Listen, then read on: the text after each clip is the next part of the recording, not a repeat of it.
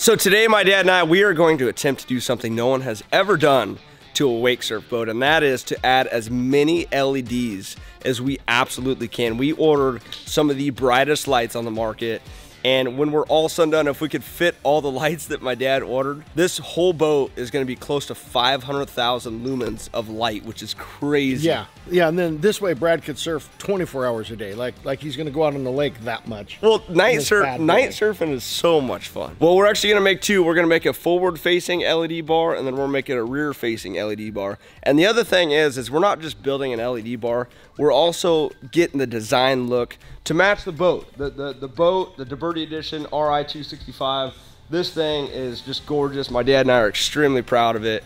Took a lot of incredible people to team up to actually create this thing. So let me show you guys the LED lights that we got and, uh, and let me know what you guys think.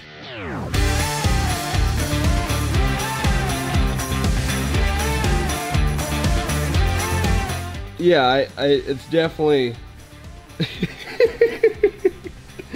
it's definitely overkill.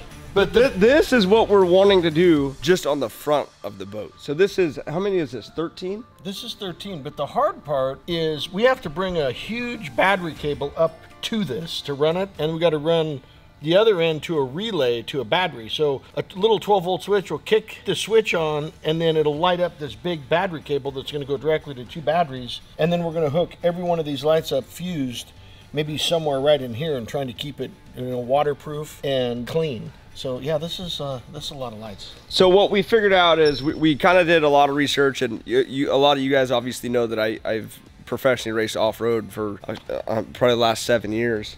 And we researched what are the trophy trucks running in the desert because whatever the trophy trucks are running, these guys are doing over 100 miles an hour, and they're going through crazy terrain.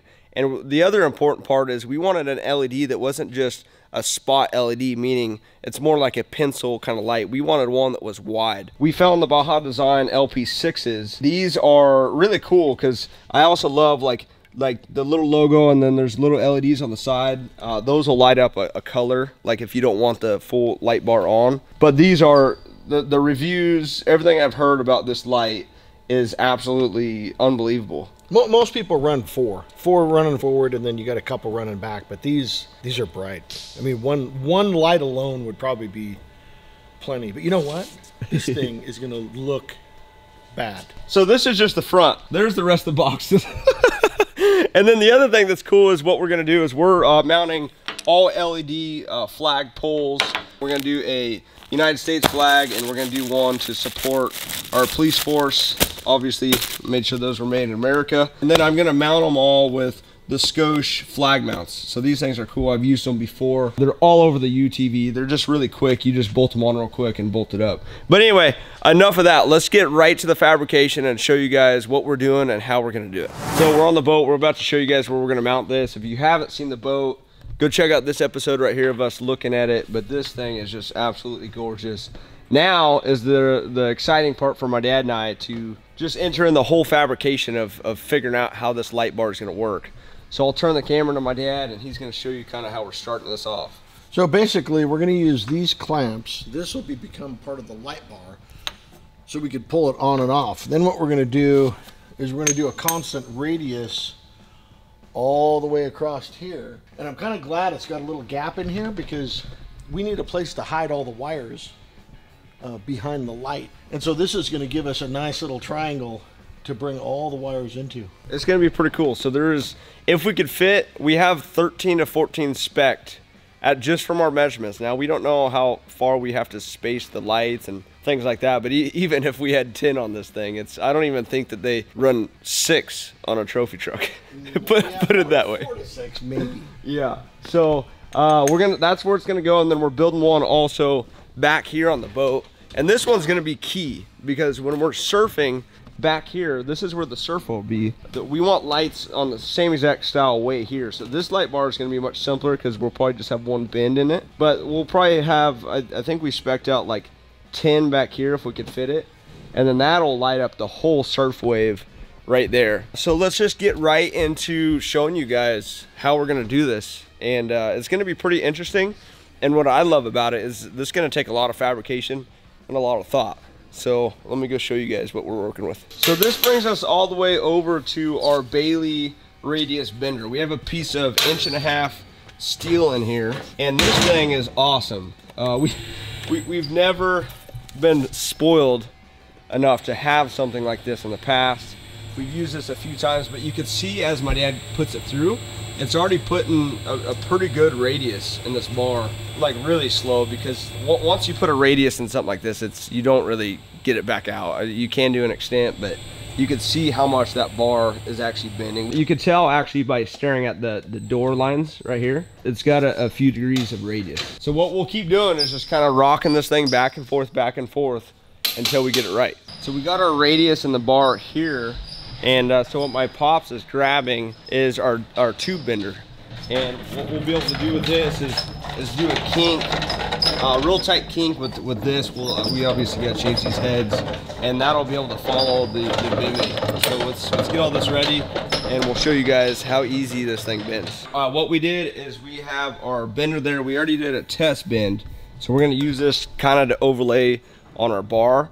But my dad and I are going to put this in, do a bend, so I, I was going to use this, but for reference, just in case someone doesn't have like a, a perfect level or like that, the other thing you could do that my dad and I'll just do real quick is if you just take your tape measure and if, as long as your floor is perfectly level, he's just gonna uh, do a tape measure from here up and then I'm gonna do one on this side and just make sure that this thing is level. Tell me where you're at. All right, I'm 41 and three quarter to the top. Oh, I'm 41 and it's not even an eighth. 40 and seven eighths. Oh, I'm 40 and 5 eighths. Let me see how level this is with just a level.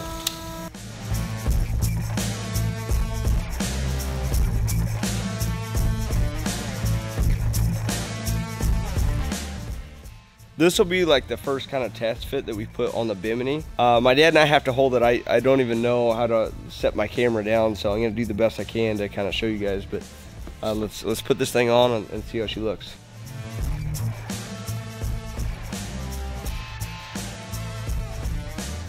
So this is where we're at. It's definitely a lot of light. At, at, this point, we're basically coming up two lights short as far as our length, which we wanted to have 14 of the, the LP6s on this bar. And right now we can only fit 12. So we gotta, yeah, we're, we have to space them one inch to put all the bolts and everything in. So uh, what we're trying to figure out is if we bent this around the bimini, but we, we don't know if that would look right. So we're gonna leave the bar long.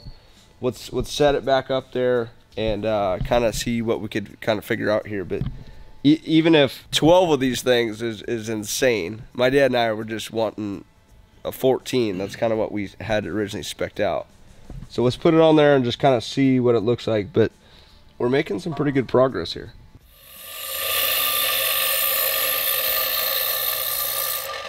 Just getting all the uh, all the stuff ready to weld up that bar. We're gonna we're gonna TIG weld everything. Uh, especially, I like the TIG welding, especially on the boat because there's no sparks. But we do have to still be very careful. Disconnected all the batteries so nothing happens because uh, you, you could uh, actually hurt electronics when you ground and weld. But yeah, it's, I mean, you can see kind of where, where we're sitting over there right now. The problem is, is that my dad and I need more hands to like hold and, and tackle this, but we're gonna attempt to hold and, and get some tacks and, and at least get it set on the boat and then we should be able to bring it back to I don't know if we're going to use like this fixture table and, or how we're going to mount the lights yet but I imagine we bring it back here and see how we can figure it out but let's go over to the boat and uh, I'll try and rig up the camera to to film it but uh, yeah this is going to be this is a, a very critical part of what we got to do you know, it's funny. Someone asked me the other day, "Hey, who welds better, you or Brad?" And I had to think about it for a minute, and I had to say Brad. oh, that kind of sucks. Yeah, it's, it's always a little scary welding on something that's like finished because like this thing's fully wrapped, the interior's all dialed in. Like this is a done boat. And when we're done with this, it's going straight to the boat show. So any little thing that happens, I would obviously be responsible for at this point. So just want to be careful. Even uh, usually I don't, obviously you never want to cool weld but I'm just doing like tacks just to kind of get this set. What this is clamped to is all powder coated from the factory. So I think I'm gonna tack this and, and I'm doing a pretty hot tack and I'm gonna cool it so I don't hurt the powder under the actual, the factory bimini. Uh, but this looks really, really good. all of our gaps, everything is set. So we're going to uh, get this all tacked up and then bring it over to the bench.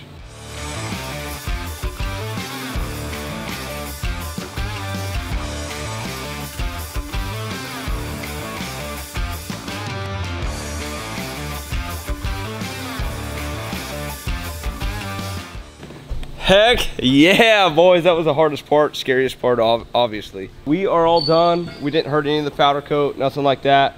Let's go down to the bench now, try and figure out how I could get all these welded on. We still have to make all the, the brackets. We're gonna have to make all custom brackets for the LP6s to actually mount onto the, the light bar we just built. So let's go down to the bench and let's get this figured out, but I'm, uh, I'm feeling pretty good. All right, what we got going on there, Pops? So this is going to be the adjustable bracket for the light. So we'll pivot right off at the center and it'll just go around the bar. Oh yeah, that'd be perfect. And then there's the end tab. So the two end tabs so we could cap off the pipe. So I'm going to send it over to our good old boys at Laser Bros. Obviously it'd be nice to have a laser or a plasma cutter or a water jet, but uh, we don't. So we're going to send off that file. We'll, we'll go over there, grab some, uh, just a quick shot of them lasering it and then we'll come back here and uh, start welding on all the lights and then we should be able to put it on the boat for the very first time.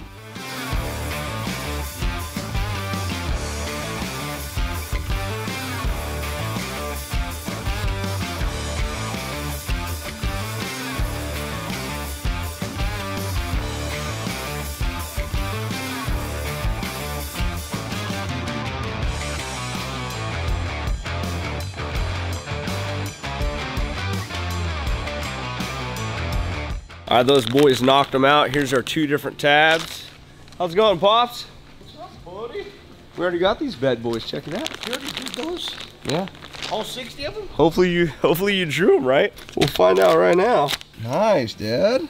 It'll be nice to have that adjustment. That's a lot too, which is good. The hardest part is going to be how close can we mount them. Yeah, we want them tight. Oh yeah, look at that. Oh yeah.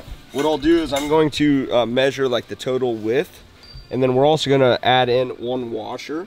When I do it that way, when we powder coat this bar, powder coating has a little thickness and uh, that, that way we're not having to bend out tabs and stuff like that. So what I'll do is let me cut out a little bar for this and uh, let's, let's go mock one up on the light bar. And then we could put it on for the very first time. That looks good. Good job, Perfect. buddy. Thanks, buddy. What's up, Miller?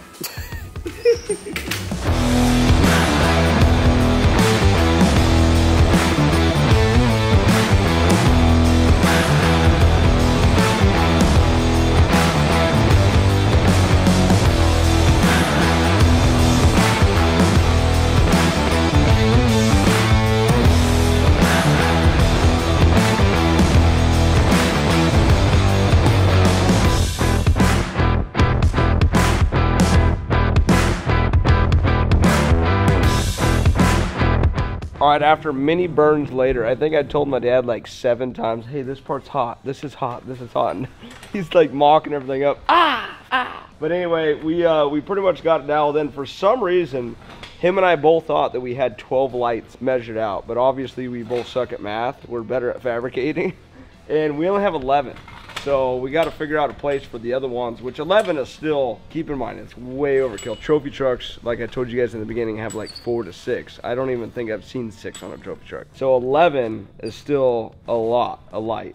What we're gonna do right now is we have all these uh, tabs all just kind of tacked on right now. We're gonna go through and on our last light here, uh, we, we marked, because this is going to be the very end, uh, my dad drew up a, a, second tab for this end. We're going to cut this off and then uh, weld on the end of the light. I'm just a little nervous because we were going to do the middle right here and then just do like two more and throw it on the boat to look at it. But then when we started just doing everything, we were on like number four. I'm like, Dad, I thought we were just going to mock up a few. And he's all, just keep going. So hopefully everything is dialed in. It, it should be in theory in theory. We'll see. Dang, Dad. You set the, look, you set those up nice. It's like the radius was in your mind.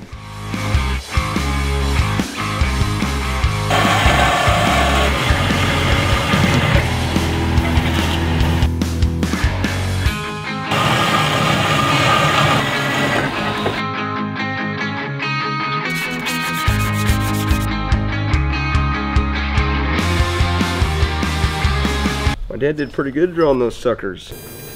Ground? Oh, do you need that? I might need the ground. I don't know. Hey Miller, hold this and then hold the pipe. Yeah. Okay. And then let me get the water. Yeah. Hold the other part with your.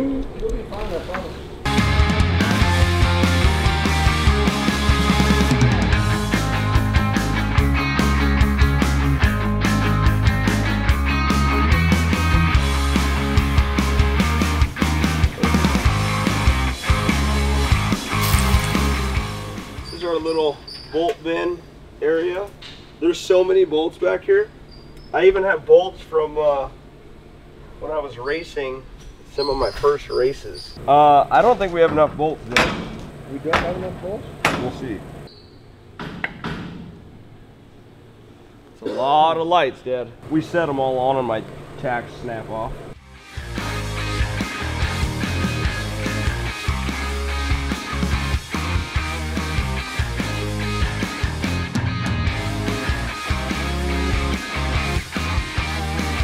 All right, well, let's get a mini crane to lift this up.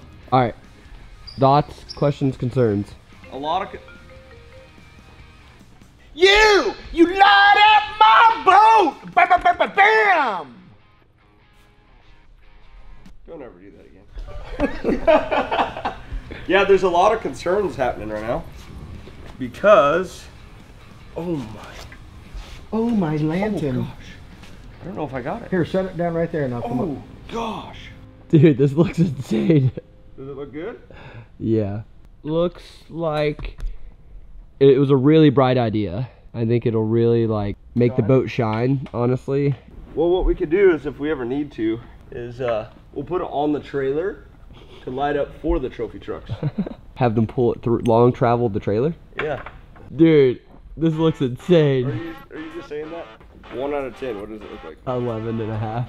Let's look at this bad boy. One, two, Oh, God! That made the whole freaking thing. Why Ah! is it so sick? That is ridiculous! Oh my god. Wow! Nothing on the water like this. Wow! Is that good job? That man. was awesome! Holy freaking crap. oh my gosh. Oh. That is so cool looking. I don't even have any words. Yo, good looking. Oh, this is sexy.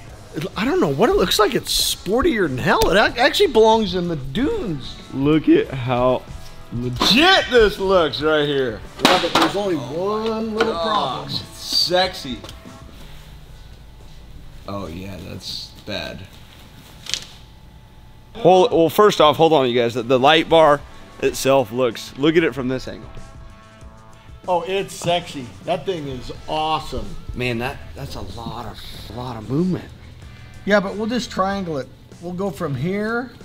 Oh, that's bad. No, we're gonna go back from here, and, and it'll it'll we can make it solid. We're just gonna go back to. Let's just go back to a point over here. I just wonder if that when we do that, that's gonna look weird. No, no, no one will even know. No one's gonna see a bar there. It doesn't even. It, it makes sense anyway. Well, I, I will say out of and, and I've had other boats in the past.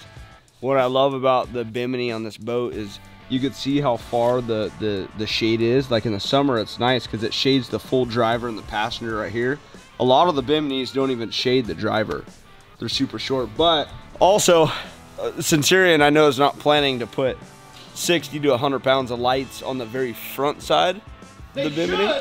They should. Oh. They should, because that looks insane. now we just got to figure out a way to stop this right here and how we got to do it is we got to strengthen from this very very end so basically here all the way tie it all the way back down to the bimini yeah that's a lot of bounce and and their their bimini is already inch and a half i mean this is like some so- it's probably like eighth inch uh, thick aluminum so it's they, they already pride themselves on having like a very strong bimini to where you don't even have to take this down like I, don't- I don't know. Dad is it like 60 or 80 mile an hour this thing will be fine through?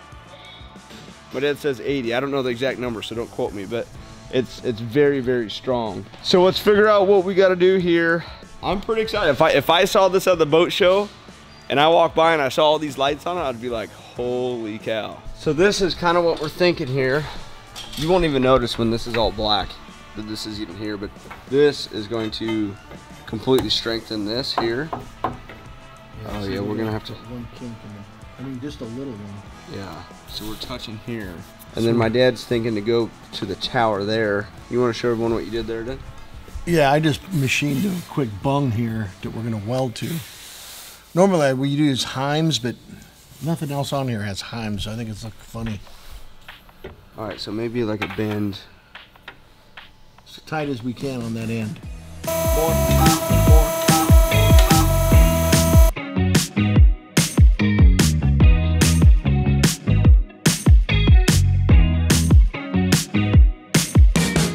So Pops and I got this all tacked on right here. I just wanted to show you guys kind of what we're looking at.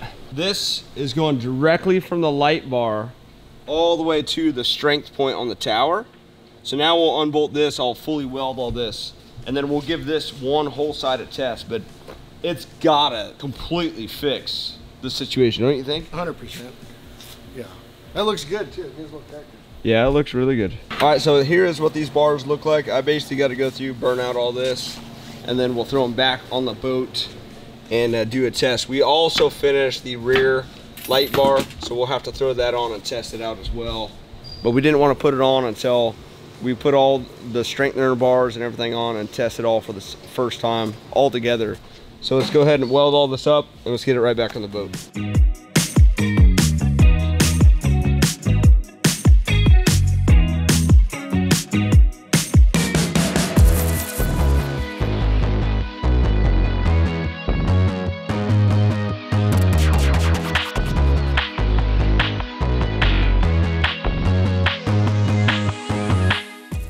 Right, so this is the testing moment, which it has to work. I mean, that, that awning is hanging out there quite a ways, but this thing was bouncing everywhere. So let's see how it works. Rigid? Yeah. Push up and down on it.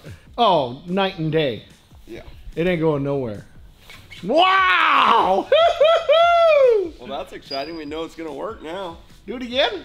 Well, Oh, that's yeah. me like pushing hard, but like this is me like Oh, yeah. That Oh, yeah. strengthen it like crazy. Yeah, that looks good too. Once we get those all black, it's gonna just flow with it. I like we got the same angle as the window. So here is the rear bar. Yeah, Dad, that is gonna look good. We uh, we basically put it on with these clamps. You can see that's the same exact way we we mount on the front bar. It's the easiest way. That way, one day when we sell this boat, uh, we'll we'll be able to just pull off all the light bars uh, because we're we're keeping all these lights. This is a a lot of lights. We'll be able to use this on on many different things, but. Yeah, that's probably the easiest way we kind of found to mount this this bar is just on these little clamps. We are gonna have some leftover lights on the rear light bar, just with the width of the bimini uh, that we didn't really account for is we could only fit seven LP6s, which is still a crazy amount. So we're gonna have a handful left over. Once we're done with these light bars, I don't know if there's other areas on the boat that we could add little lights here and there to just kind of shine different areas, like maybe a wider or anything like that. But uh, we're all done with this mount right here. Let's go throw it on the boat and see how she looks. It's gonna look, I think it's gonna look crazy with lights in the back. Thing's sick. My big bro just dropped in here. Oh, I didn't even check the flex of it, did? Uh, it's hardly nothing. Oh yeah, that'll be so nice for night riding. Oh yeah. Hopefully it doesn't blind the person behind the boat. Hey, uh, hook the It will. up and put that up at the same time. I love it. I was saying, I, I like how like there's a bend right in the middle of the bar and the bimini, because then it's gonna make light go like both sides behind the behind the boat.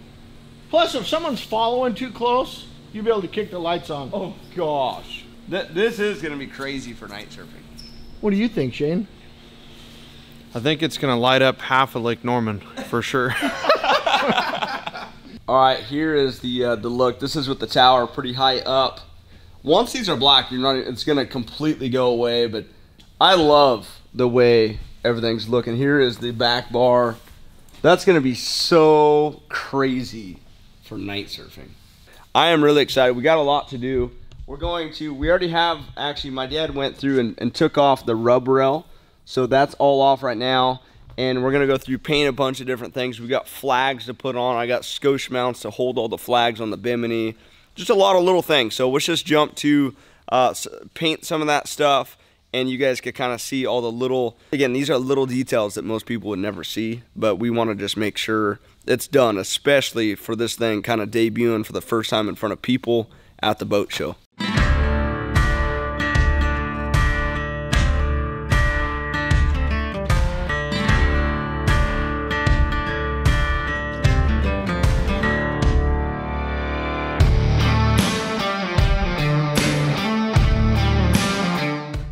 this is the last finishing part of the DeBerti Edition boat. Yes! Is that just beautiful? Let's just stand back. Holy cow. We've never done a boat before. This is our first legit boat build. This is fun. I like that. Why don't we get this, let's get this bad boy outside and let's show you guys the DeBerti Edition RI-265 100% done on how it's going to the boat show. I'm looking at it right now. I have never seen a boat look like this. So let's get it out of the shop and let's show you guys. If you guys enjoyed the boat, enjoyed this episode, let us know in the comments. If there's anything else that you guys have ideas on that we could do to the boat, we're open. So hopefully, hopefully you guys enjoyed this episode. Let's get it outside.